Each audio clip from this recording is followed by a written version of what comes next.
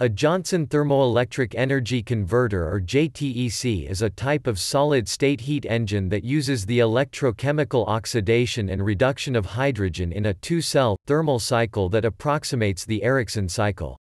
It is under investigation as a viable alternative to conventional photovoltaic cells.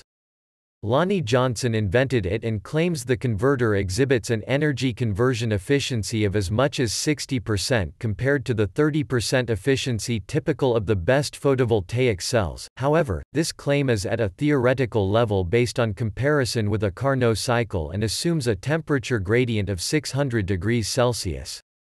It was originally proposed for funding to the Office of Naval Research but was refused. Johnson obtained later funding by framing the engine as a hydrogen fuel cell. Johnson is collaborating with PARC on development of the engine.